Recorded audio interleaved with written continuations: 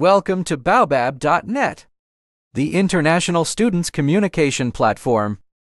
Hello guys, bienvenue sur notre plateforme de communication Le Baobab. Chaque année, des dizaines de milliers d'étudiants internationaux partent faire leurs études aux USA dans le seul but de poursuivre leur rêve américain. Dans le numéro d'aujourd'hui, nous allons parler des conditions d'études aux USA, à savoir le projet d'études, les conditions linguistiques, la capacité financière et pour terminer, la législation. Et si vous, guys, vous avez d'autres conditions à évoquer, on peut le faire à la fin de cette vidéo. Issa, pouvez-vous euh, revenir sur le projet d'études ah, merci beaucoup de m'avoir donné la parole. Concernant le projet d'études, il faut ce qu'on appelle le diplôme de base. Il faut avoir ce qu'on appelle le diplôme de base, qui équivaut au baccalauréat ou plus. Voilà. Après le diplôme de base, il faut avoir la filière d'études aux États-Unis. La filière d'études, bon, les universités ont plusieurs filières. C'est à toi maintenant de choisir la filière dont tu aimes réellement. Après la filière d'études, il faut le diplôme aux États-Unis. Mhm. Voilà. Quel genre de diplôme tu vas poursuivre? Parce qu'il y a certaines filières qui se limitent, voilà, qui nécessitent seulement juste un certificat d'études. Il y a certaines filières aussi, il faut aller jusqu'au bachelor. Il y a certaines filières aussi, il faut aller jusqu'au master ou plus même le doctorat. Mm, très bien. Euh, je pense que c'est très intéressant parce qu'il faut savoir aussi euh, avoir des idées claires avant même de postuler dans une université ou dans un community college. Mm-hmm. So thank you. merci beaucoup. Voilà, euh, je poursuis avec Songai. Merci. Alors Songai, tout à l'heure j'ai évoqué la capacité financière. Mm. Pouvez-vous revenir sur cette condition? Merci, merci pour la question. Je pense que c'est très important quand on veut, voilà, faire, on a un projet d'études comme il a dit, on veut aller loin pour euh, des études. Et ce qui, la plupart constitue des handicaps pour des gens, c'est l'argent, tu vois. Donc parce que les, les études à l'étranger sont payantes et donc euh, il faut se préparer. Euh, par rapport à ça, les coûts sont les coûts sont de trois ordres à ce que je vois. D'abord, il y a les coûts des études, c'est-à-dire vos, vos frais de scolarité. Il faut, il faut savoir, il faut avoir les moyens de vous prendre en charge. Mm mis à part ça, vous devez avoir les moyens également de votre subsistance aux États-Unis. C'est-à-dire que comment vous allez vous nourrir, vous allez vous revêtir, vous allez vous soigner. Au-delà de ça, il faut penser également à, aux moyens, euh, à d'autres moyens qui sont par, par exemple des moyens de, mhm. Euh, des moyens de déplacement, Ouais, non. Donc, euh, il y a un ah. ensemble, un ensemble de, de, de, de coûts que, que euh, vous allez subir. Donc, euh, il faut vous préparer par rapport à ça. Merci beaucoup, Songai. Je pense que le point évoqué est très important. Euh, maintenant, on va parler des conditions de langue. Et pour cela, je vais laisser Abdou développer cette partie. À part ce qu'on vient de mentionner, tout ce qu'on vient de mentionner, exactement, euh, le côté linguistique, il compte beaucoup, puisque les États-Unis, la langue ici c'est l'anglais mhm. et du coup les études euh, se passent en anglais aussi. Donc, vu pour nous qui, qui venons de, des pays francophones, mhm. il est très important de fournir des preuves que bon, j'ai le, le, le, niveau nécessaire pour venir sur les cours. Voilà. Mm -hmm. tu viens euh, en bachelor, master, euh, quel, n'importe quel degré, mm-hmm. ça va se passer euh, en anglais. Il faut être bien préparé. en fait. Donc, euh, pour, pour l'Amérique, en fait, les, les écoles ici ou l'université, ils demandent le TOEFL. Mm -hmm. Le TOEFL. Parce qu'il y a un autre test ITSL ou bien IELTS. Ok, ça c'est pour euh, le, Canada ou soit l'Angleterre. Mais pour les États-Unis, c'est le TOEFL. Mhm. Donc, des écoles demandent de, de TOEFL, mais pas toutes. Comme je l'ai mentionné la dernière fois, quand je me suis rendu là-bas, j'ai dit, bon, nous, on veut, sur leur site, ils ont dit, il faut, il faut fournir des preuves de, de, de tests de langue. Mhm. Mais, c'est possible de ne pas fournir ces preuves-là aussi. Mhm. Donc, je vais demander à la personne, bon, on veut choisir la, la filière, mais ouais, comment on peut indiquer qu'on veut venir faire la langue ici? Mhm. Il dit là, en ce cas, il faut pas choisir la filière, mais plutôt choisir la formation de la langue. Et ça se fait, ça s'appelle ISL. ISL, voilà. Mhm. Donc tu mets ça sur la forme et tu soumets. Tu soumets. Comme ça, sur le I-20, il y a une partie comme euh, langue, langue nécessaire, lui va enlever ça. Mhm. Euh, eux, eux, eux, ils enlèvent la partie là comme ça parce que si tu ne le fais pas, et tu ils, mettent la partie là que langue nécessaire mhm. et tu vas à l'ambassade pour l'interview eux dans ta façon de parler l'anglais ils voient que tu n'as pas le niveau ils vont ils vont te refuser le visa. Exact. Donc, euh, tu précises que je viens pour le- la langue, Exact. et là, ils enlèvent ça, ça, ça passe. Donc, c'est c'est comme ça. Ou soit des écoles, certains ne demandent pas le TOEFL, certains demandent le TOEFL. Ça dépend de quelle école tu choisis aussi. Je pense, je pense, peut-être, euh, je pense pas c'est une nuance à- par rapport à ça, puisque quand j'ai fait la même chose, puisque moi je n'ai pas fait le tour, fait la bande d'arrivée, mais j'avais ma filière quand même euh, que je devais venir faire. Ce qui était dans le I-20, c'est que je devais faire l'anglais avant d'aller continuer Ah, dans la ah. filière. Donc euh, tout est mentionné. ok. Il y a, donc euh, quand on, vous, vous choisissez la filière, c'est par rapport à la filière qu'on vous accepte à l'université. Et on met dans votre I-20 que vous allez d'abord faire l'anglais avant de continuer sur votre filière. Donc, je pense que ça aussi, ça marche. Euh, Je pense que pour moi, avant de venir, moi j'ai euh, j'ai appliqué à Pace University qui se trouve dans l'État de New York.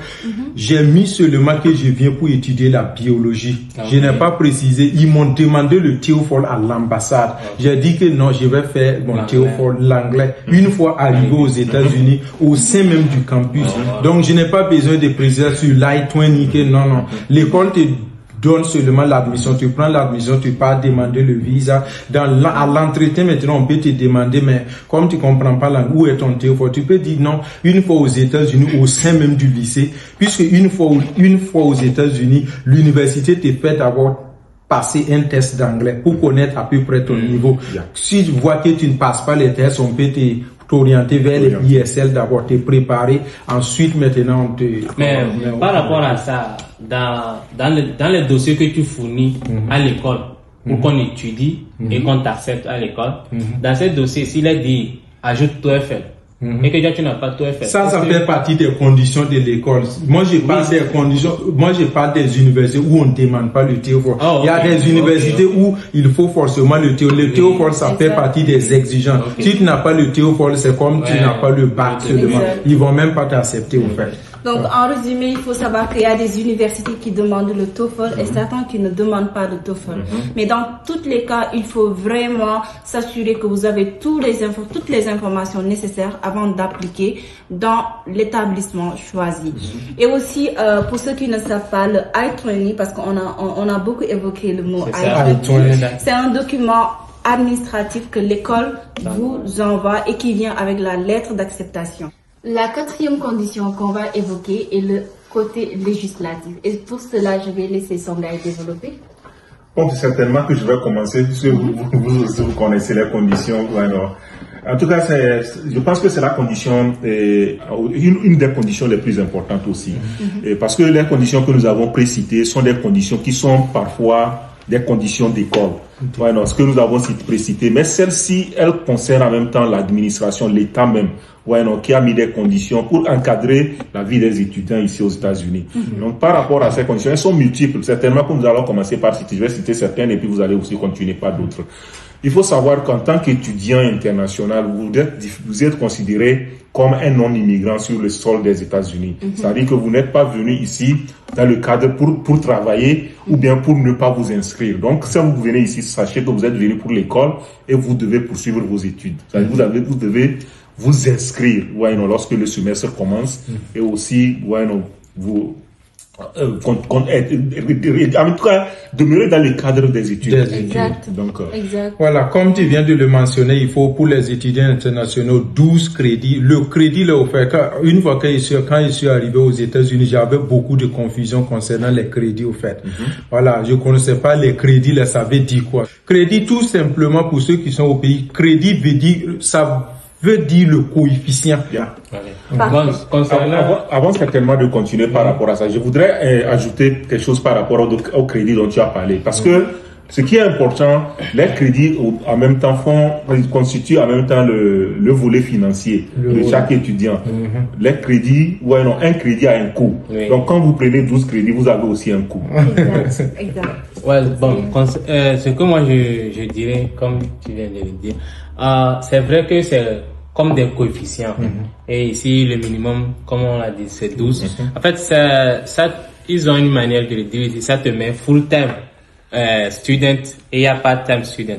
Dans le 12 crédits minimum, là, ça te fait full-time student et tu es obligé d'être full-time student si tu es... C'est-à-dire euh, étudiant à temps à temps plein, quoi. Voilà, pour Tu es rester- étudiant à temps plein. Voilà, tu es obligé de t'inscrire en tant qu'étudiant à temps plein pour pouvoir euh, comme si tu es un, Garder ton statut. Voilà. Sinon, à défaut, tu perds ton statut et puis tu deviens automatiquement illégal sur Et, le et sol je pense que c'est, Voilà. il faut éviter ce genre Voilà. de voilà.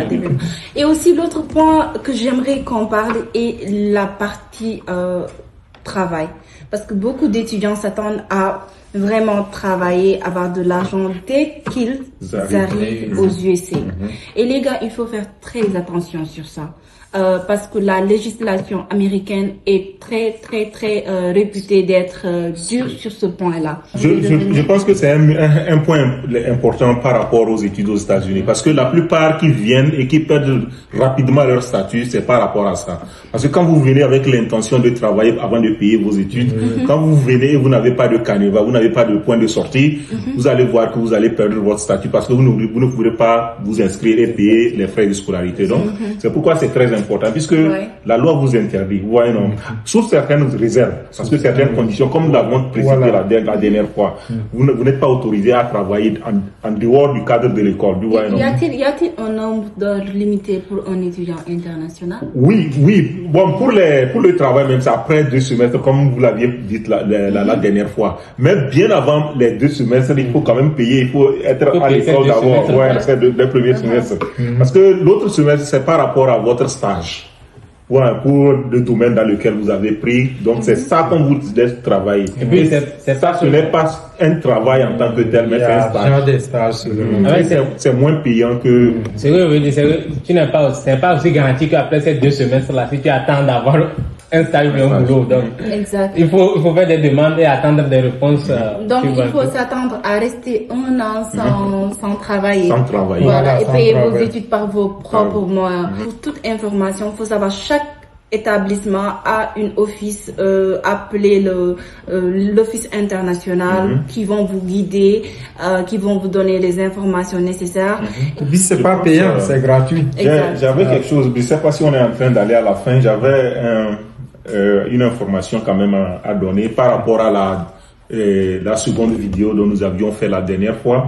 Et nous avions mentionné, ouais, non, euh, en tout cas les raisons pour lesquelles les gens choisissent de venir aux États-Unis pour les études. Et il y avait un élément que nous avions, en tout cas j'avais, j'avais voulu qu'on mentionne, c'est le fait que lorsque vous venez aux États-Unis ici, quel que soit le, le, le background, comment, euh, votre étude de base, quelle que soit la série que vous avez faite ouais, non, au niveau de votre pays en- au lycée, vous avez la chance de poursuivre dans n'importe quelle série ici. Ouais, non, par exemple, ici au Togo, au Togo, par exemple, on va vous dire que quelqu'un qui a fait la série 4 ne peut pas faire la médecine. Right. Mais ici aux États-Unis, quand vous venez avec votre série A4 de Lomé, vous arrivez ici, vous, pouvez, vous avez la chance de faire la médecine. C'est très simple. Comment, comment ils le font? Si c'est la mathématique dont j'ai besoin pour continuer en médecine, on vous laisse prendre les cours de mathématiques, pe- peut-être un semestre ou deux semestres. Après ça, vous avez la chance d'être au même niveau que de- des autres qui ont fait la, les séries scientifiques. Et vous continuez dans la... Oui, continuez dans Exact. le programme. Et je peux dire que c'est ça même l'essence euh, qui fait que les États-Unis sont un lieu incroyable pour faire ses études. Voilà, évidemment. J'ai voulu par rapport à la mathématique dont elle a dit. Vous voyez que la plupart des fois, j'ai- je, je fais rire aux gens parfois quand je leur dis que j'ai étudié la, la, la biologie au pays, surtout. Je connais les appareils de Golgi, les mitochondries et tout ça. Là, ça, ça, ce sont des choses qu'on a apprises, mais en réalité qui ne sont pas liées à, à des filières. Donc, ici, ce qu'on fait, c'est la mathématique, vous voulez faire le nursing, on vous donne la mathématique qui a un rapport avec, Avec le, le nursing. Si c'est quelqu'un qui veut faire l'ingénierie, on vous donne la mathématique qui a un rapport avec l'ingénierie. On ne vous enseigne pas toutes les mathématiques du monde pour vous attendre d'aller dans une autre, dans une autre ce que je voulais souligner aussi, tout dépend parce que moi, euh, puisque je pas dans le domaine de la euh, dans le domaine euh, de la santé, etc. Donc on m'a fait prendre mathématiques, ce qu'on appelle le calculus, mathématiques niveau 1. Niveau 1 c'est suffisant pour aller dans le domaine de la médecine. Maintenant dans le domaine de l'ingénierie, il faut mathématiques niveau 2 ou niveau 3. Donc ça dépend des niveaux au fait. Voilà, sinon c'est pas comme on va trier c'est, on va rentrer dans les programmes trier sur non, c'est niveau niveau. On regarde en fonction de la filière dont tu veux poursuivre, on regarde bon, quel niveau est, est nécessaire pour toi? Donc, Merci. Important. Alors, merci beaucoup les gars de nous avoir suivis. J'espère que vous avez euh, tiré de cette discussion beaucoup d'informations. Et n'hésitez pas à vous abonner, à poser vos questions. Nous sommes là pour vous guider, vous accompagner, comme je vous l'avais dit lors de notre présentation.